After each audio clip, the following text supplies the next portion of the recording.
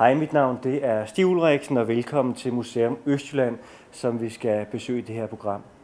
Med mig til at fortælle lidt, der har jeg taget Lisette Bauer Andersen. Ja, Og Lisette, du arbejder her til dagligt. det gør jeg. Jeg arbejder herinde på museet og viser rundt og fortæller om alle de ting, vi har herinde. Og hvor længe har det her museum egentlig eksisteret? Jamen, museet har jo sådan, øh, altså næsten 100 år på bagen, men, men her i Kulturhuset, som vi deler med biblioteket, og vi deler med, øh, hvad hedder det, Kunstmuseet ovenpå, der har det ligget siden 60'erne i sådan en stor cementbunker her. Øhm, og der bor vi så på første sal i midten, og har selvfølgelig samarbejde på kryds og tværs med oppe og nede. Ja, for det er noget med, at Museum Østjylland er jo ikke bare her i den her muse- historiske del, vil jeg kalde det, Nej. vi står nu. Det er mange ting. Jamen det er det. For en tre år siden, der fusionerede vi med museet i Grenå og med museet i Æbeltoft, og, øh, og er nu blevet til Museum Østjylland som en stor øh, museum. Og vi dækker jo altså hele Djursland og langt øh, mod syd og længere mod nord.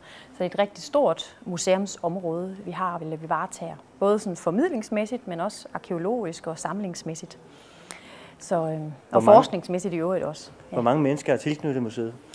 Jamen altså, det kan godt svinge en lille smule, fordi vi er sådan, øh, mange projektansatte, vi er hele tiden gang i nye ting, så derfor har vi mange projekter i gang. Men sådan et års, årsmæssigt der kan der godt være omkring en, mellem 80 og 100 mennesker igennem Museum Østjylland.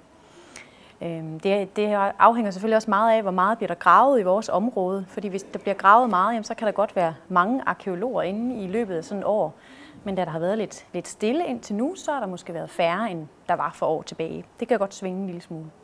Og hvad der kan gøre, at man begynder at grave i et område? Er det, hvis man en eller anden støder ind i et fund ved en tilfældighed, som er det her guldmønter, der var uden for Randers? Ja, det er jo det. Altså, det er jo dejligt, når sådan nogle detektormennesker, de øh, pludselig dukker op her på museet og har fundet noget guld. Og jeg kan fortælle, at arkeologen de blev rigtig varme i kinderne, da Morten har fundet øh, et, et stort guldskat øh, ude i, i Spendrup, som ligger sådan jo lidt uden for Randers.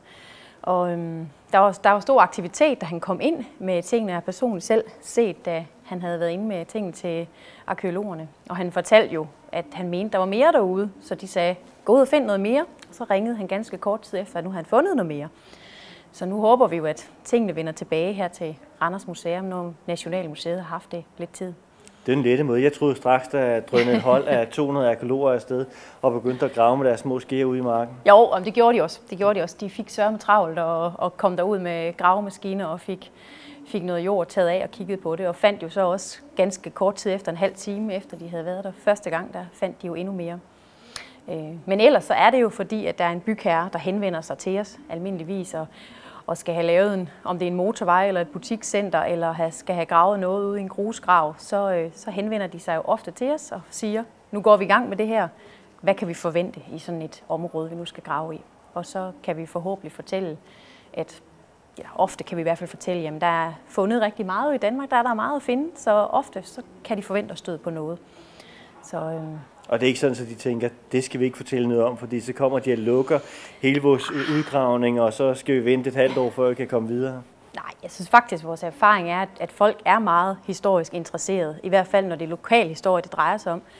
Øhm, så jeg, det kan vi jo ikke vide selvfølgelig, om der er mange, der ikke henvender sig, men vores oplevelse er, at folk er interesserede, og de gerne vil være med til at fortælle historie fra deres lokalområde.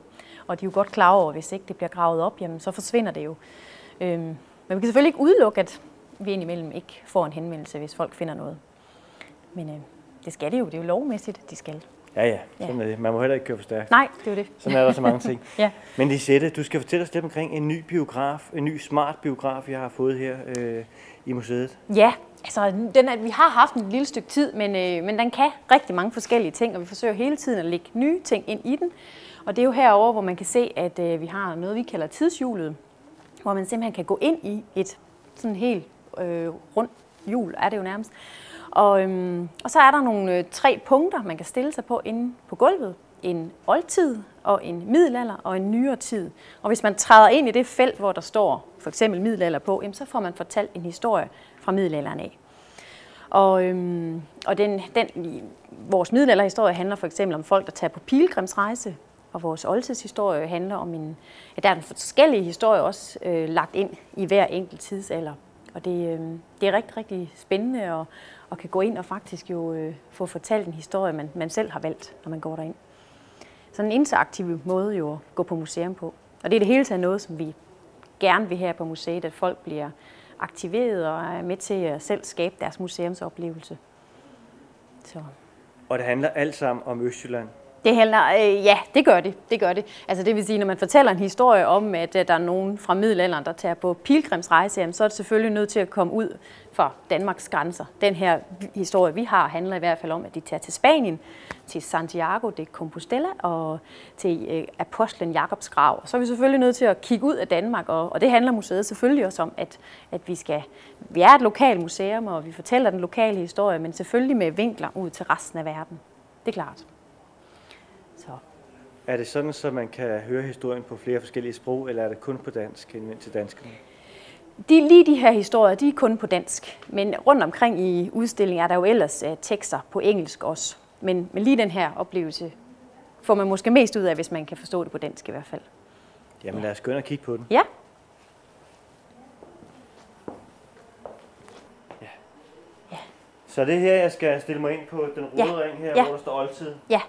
Det er jo fantastisk. Hvad sker der så? Så kommer der en historie. Og den kommer simpelthen hele vejen rundt? Ja. Det har været et bredt kamera, man filmet med. Det må man sige. Nu og, står og, vi i sådan en oldtidslandsby simpelthen. Ja, ja. det er da utroligt. Og der er nogle... Dem har jeg set før. Ja. Men noget andet tøj på. Kan det være her fra byen? Jeg ved ikke, om de, sådan helt, øh, om de er bosiddende her i byen, men det er i hvert fald skuespillere op fra øh, Ejns Teatret her i Randers, som har været med til at lave øh, filmen her, og også noget undervisningsmateriale, vi faktisk har, der passer hertil, som hedder Møde med oldtiden. Og, øh, og de her, de står så og, og taler om det med at være høvding. Det her det er høvding, og ham herovre det er troldmanden. Og går man nu ud af cirklen igen, som vi trådte ind i lige før, så øh, kan man få en ny historie, fordi der er også en historie, min bedste mor, der fortæller om, at hvor, hvor, øh, hvor svært det er at miste et barnebarn, for eksempel. At børnene ikke, oldtiden måske ikke blev så gamle, som de blev i dag, eller bliver i dag. Fantastisk. Ja. Og hvor, er, det, er det alt sammen lavet på computer, eller altså baggrunden? Ja, baggrunden er i hvert fald, ja. Fantastisk. Ja. Så vi kan ikke rende rundt i Randers og satse på at finde den her lille by? Nej, det kan vi vist desværre ikke øh, regne med.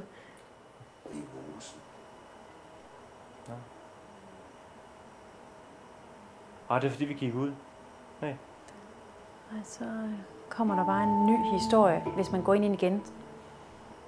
Ja, så kan man høre bedstemoren, Nå, eller tage med til troldmanden. Ja, så kan man vælge, hvem af dem man vil høre. Troldmanden, han er altså virkelig god, synes jeg. Ah. Det er bare fordi, du godt kan lide magi. ja, jeg synes bare, han ser fantastisk ud. Og så, altså, så kommer der sådan en stor troldmands øje på et tidspunkt. Man står sådan og omgivet af ham, og kan man bare se det der kæmpe øje. Bare sådan et fint billede, synes jeg.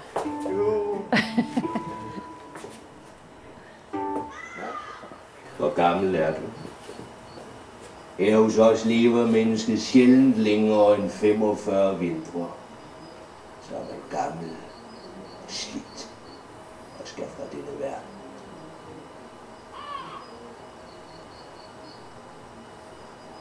Men det er ikke alle, der dør alderdom. I dag offrer vi en kvinde. I lægger hende i mosen som en gave til guderne. Så håber vi, de sender landsbyen stor frugtbarhed. Og hvis vi skal klare os, og klare os godt, har vi brug for levedygtige børn og stærke afgrøder på marken. Lisette, ja. hvad er det for noget? Du slæber mig ned her blandt uh, skeletter og, og, og døde kvinder, jeg ved ikke hvad. Har man virkelig sådan noget på et museum? Jamen, øh, vi, har, vi har flere skeletter her på museet. Øh, lige nu står vi så ved museets øh, Moselig, Avningkvinde. Kvinde. Øhm, jeg tror egentlig, at mange museer vil faktisk gerne have et, et moselig. Det er sådan lidt fint at have et moselig. Det, der er ikke så mange af dem. Og, øh, og folk synes, det er meget spændende at se. Øh, man kommer faktisk rigtig, rigtig tæt på et, et rigtig dødt menneske, når man står over for sådan en moselig. Øh, og nu kan der være andre museer, der har nogen, øh, der, der ser mere livagtige ud end vores, men, men faktisk kan man fortælle meget ud fra sådan et, et øh, moselig, fordi at der er jo alt hud er jo tilbage, eller ikke alt hud, men noget hud er i hvert fald tilbage, og hår er ofte, ofte også tilbage. Og, så man kommer meget tæt på, hvordan det her menneske faktisk har set ud, selvom det selvfølgelig er sunket helt sammen, og alt væv er væk og noget, men alligevel kommer man ret tæt på. kan man godt have, der ligger også et skelet her, både et voksent og et barn her ved siden af os, og så har ja. vi mosekvinden hen ved siden af. Kan man godt have det på et museum? Burde det ikke ligge på en kirkegård? Jamen altså, øh, jeg synes jo, det er også en diskussion, altså museerne tager med sig selv, når de laver en ny udstilling. Er det, er det okay at udstille folk, der er døde? Fordi at uh, kvinde her, som jo er, er 2.000 år gammel eller, eller lidt mere, hun, øhm, hun har jo ikke selv bedt om at komme på museum, og det har de skeletter, som ligger bag mig her, eller skelettet, vi har i middelalderudstillingen, de har jo ikke bedt om at komme på museum, og de har altså ikke doneret deres krop på nogen måde til videnskaben eller underholdningen. Så, øhm, så det er selvfølgelig en diskussion, man tager. Men jeg synes personligt, at, at det er vigtigt, at man kan få lov til at se på, hvordan ser et menneske faktisk ud, når det er dødt. Øh, og jeg almindeligvis viser jeg børn og skoleklasser rundt her på museet, og det er ofte en diskussion at tage op med dem, om, det, om de synes, det er okay at udstille et, et menneske. Om de, og vi diskuterer lidt frem og tilbage, jamen, hvad nu hvis det var din bedste mor, der døde i morgen, ville det så være okay at udstille hende? Og det, det synes børn ikke, at det er. Og jeg tror egentlig også, at man sådan, når man diskuterer det frem og tilbage, jamen så der skal i hvert fald ikke være nogen efterkommere, efterkommer, nu levende efterkommer. Man skal i hvert fald nogen, nogen 100 år tilbage, før man synes, det er i orden at udstille et dødt menneske.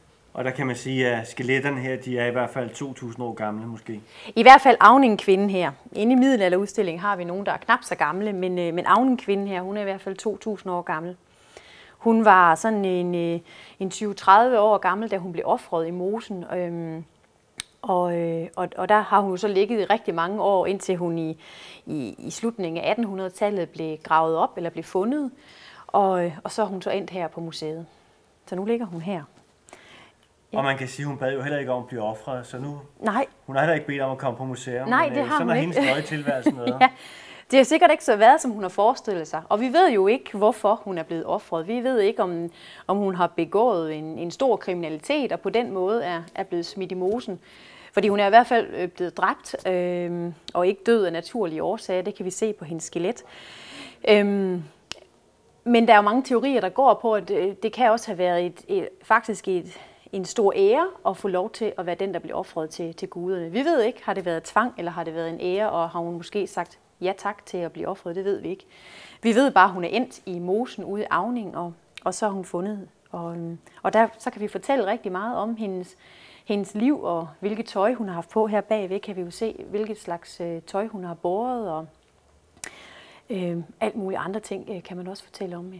Når man ser sådan en moselig der, så øh, de folk, der kigger på, øh, de undrer sig nok over, at alle de moseliv, vi sådan har liggende rundt omkring i Danmark, at de har den her brunlige, orange farve.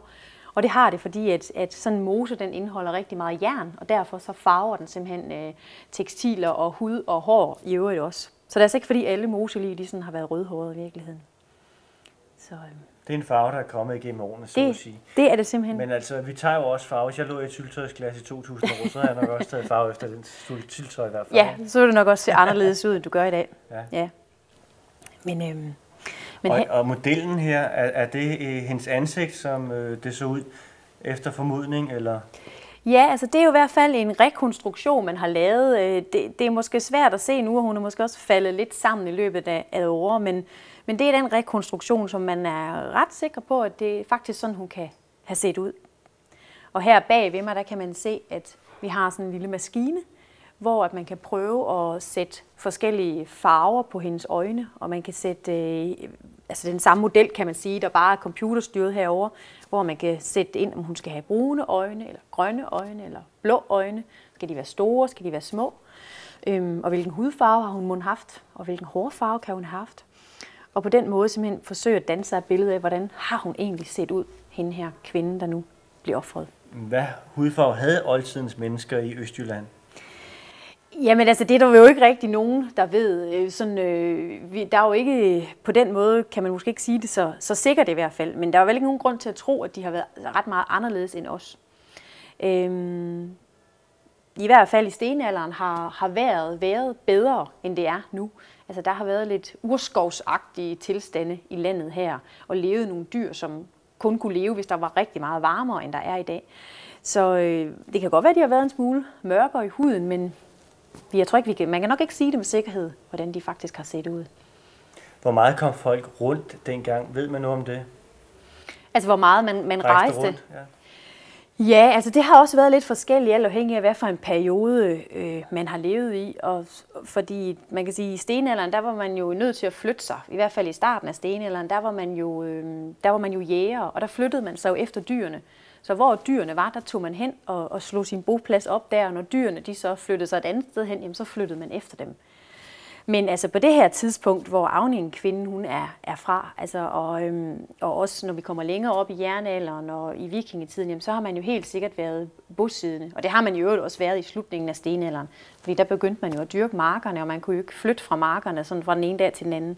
Så der blev man noget tættere på det område, man oprindeligt måske var fra, end man gjorde længere tilbage i hvert fald. Ja. Fantastisk. Hvor vil du tage os hen bagefter? Jamen, jeg tænkte, vi skulle gå ned og se på vores øh, jernalderlandsby, som ligger lige herovre. Det glæder jeg mig til. Ja. Lisette, var det sådan her, din egen interesse for historiske ja, hvad hedder det, ting startede? Ved interaktive ting? Nej, det var det faktisk ikke. Altså min egen interesse for, øhm, for historie i det hele taget, den startede ved, med skeletterne simpelthen da jeg var sådan en ung skolepige, der gik jeg i skole inde midt i Randers. Og så i frikvarteren, der måtte man gå ned til bageren eller et eller andet nede i midtbyen. Og på et tidspunkt så opdagede jeg op i det, der nu hedder Provstegade, at der, øhm, der var de ved at lave en udgravning. Og det væltede simpelthen op af jorden med skeletter. Og det viste sig så, at det var et gammelt nonnekloster, middelalder nonnekloster. Og der stod jeg simpelthen og hang igennem øh, gitteret og kiggede på, hvad var det, de fandt derinde. Og jeg turde aldrig rigtig spørge nogle arkeologer om, hvad, hvad havde de egentlig gang i, og men, øhm, men det var så sidenhen fundet ud af, da jeg så selv er endt med at arbejde her på museet. Så interaktivitet, det var ikke så stor en del af, af museerne, da, da jeg var skolepige i hvert fald. Nu er du ikke så gammel endnu, men Nej. dengang var der måske heller ikke iPad og alt det andet, som der findes i dag. Nej, det var der ikke. Det var der ikke. Men altså, museet vil jo, og i det hele taget museerne i Danmark, tror jeg egentlig gerne vil have øh, den her interaktivitet som, som trykskærme eller iPads eller, eller andre ting. Altså de, de giver af muligheder. Fordi det kan jo, man kan jo komme i en anden slags dialog med folk, hvis, man, hvis folk har lyst til at give sig tid til at, øh, at, at kigge på de ting, vi har. Og der, hvor vi står og hænger ud nu her, det er sådan bagved, kan man se sådan en model af en oldtids, eller hvad, en jern- eller landsby faktisk. Og her på de skærme, der er tre skærme, som fortæller nogle historier. Man kan tage sådan nogle hørebøffer på her. Yep. Fantastisk. Ja, men nu kan jeg ikke høre dig, Nej. Kan du høre mig? Nej, det kan jeg ikke. Nå. Men, Men det er jo øh, ret smart, fordi man gør ja. historien levende på den her måde jo. Ja, og så kan man simpelthen trykke sig ind på den historie, man gerne vil høre, og se nogle af de samme historier, eller i hvert fald de samme skuespillere, som er i tidshjulet. Men det, jeg synes er, er rigtig, rigtig fint ved dem her, det er, at alle de her historier, de ender ud med et, øh, sådan et lidt filosofisk øh, spørgsmål til, til lytteren og beskueren om, Blandt andet er der en historie her, der handler om at udvælge et offer. Troldmanden fortæller historien om, hvordan man udvælger et offer til mosen. Øhm, og så stiller de til sidst et spørgsmål. Offrer du dig selv for fællesskabet nogle gange? Og så kan man simpelthen her på den trykskærm svare ja eller nej. Og man kan også se en statistik på, hvad andre folk har svaret. Så der simpelthen, øh, man kan måle sig lidt op med så andre mennesker. Så man kan se, at man følger fællesskabet? Jamen det kan man faktisk se. Fantastisk. Hvad svarer du selv til den? Øh, om jeg offrer mig for andre? Ja, men jeg plejer at svare ja. Men det kan selvfølgelig være en god eller en dårlig dag. Ja. Men, øh, Utrolig der... spændende. Ja.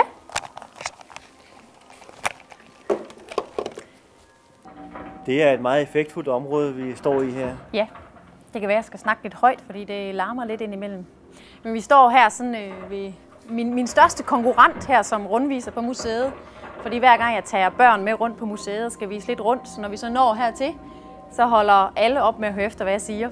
Fordi at det, det er simpelthen, øh, vores runesten er helt utrolig populær. Øh, min egen søn, han kan stå og sparke løs. Øh, lige om lidt, så falder der nemlig nogle bogstaver ned, man kan sparke på, og dem øh, skal man sparke op på plads på runestenen. Han kan stå der i timevis bare øh, og kigge på den her sten og sparke løs. Men det vil I se lige om lidt, hvad den kan. Øhm, ja, så kan man jo simpelthen sparke bogstaverne op på plads, og så øh, lige om lidt, så får man så øh, historien legnet op. Hvis man nu ikke lige kan læse runer, og det er jo de færreste mennesker, der kan det, så kommer den altså med almindelige bogstaver lige om lidt, og så kan man læse historien selv. Kan du læse øh, runer? Jamen, det kan jeg godt. Det kan jeg godt. Øhm, de er lidt forskellige, alt afhængig af, hvad for en del af vikingetiden man bevæger sig i, men jeg kan godt, hvis man lige får, i gang, får det i gang i hvert fald. Her på, stå, på stenen, der, der drejer det sig om, at der er en far, øh, Åne, som har mistet sin søn. Han er, øh, han er død på Øresund. Han er simpelthen druknet, efter han har været i krig. Og ham og kammeraten er simpelthen druknet på Øresund, og derfor har faren sat den her mindesten over sin søn. Der er rigtig mange mennesker, der tror, at runesten er, er gravsten, og det er det altså som oftest ikke. Nu kan man sige, at det her handler faktisk om en, der er død, men ofte var det en markering af sådan øh, større begivenheder i landet, kunne det være. Altså, man kender jo alle sammen Jellingesten, der fortæller om, at, at danskerne blev gjort kristne af Harald Blåtand, men, men også hvis man har bygget en stor bro eller en stor vej i vikingetiden, jamen, så markerede man det simpelthen med en runesten, som fortalte om det. Så den her lidt trist historie om en far, der har mistet sin søn, synes jeg faktisk er blevet meget, meget fin, og både børn og voksne er rigtig glade for den. Er det en ægte runesten? Jamen det, det er det. Den er helt ægte. Den er, den er, den er tegnet op, altså så man, for man bedre kan se den. Men vi ved sådan, altså, med, altså fra farvespor, simpelthen undersøgelse, teknisk undersøgelse, viser, at runesten har været malet op, fordi vi har fundet farvespor af både rød og gul og grøn og, og blå farve og sort farve også på. Så den har nok ikke set lige så, så, så vild og nærenagtig ud, som vi ser den nu her, men, men den har givetvis været farvet. Ja. Hvor har man fundet den her sten? Jamen stenen her, det, den hedder Mejlby-stenen og kommer simpelthen fra Mejlby. Øh, og meget ofte er de her runesten opkaldt efter det sted, som, øh, som de er fundet.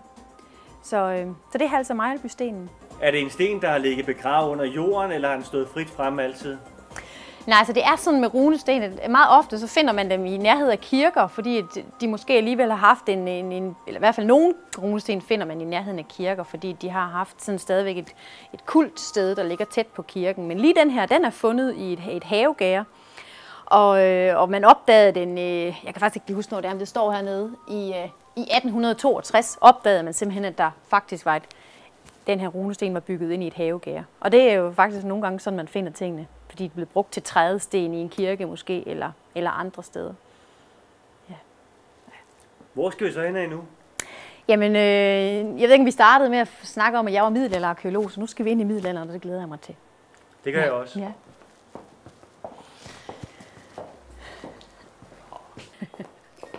Er vi Jamen, det kan være farligt at gå på museum. Er det klokkerne, der ringer nu, eller hvad? Nej, det er middelalderudstillingen. Den er fyldt med alle mulige middelalderlyde, så øhm, og du har fået hjelm på, kan jeg se. Er den ikke flot? Jo.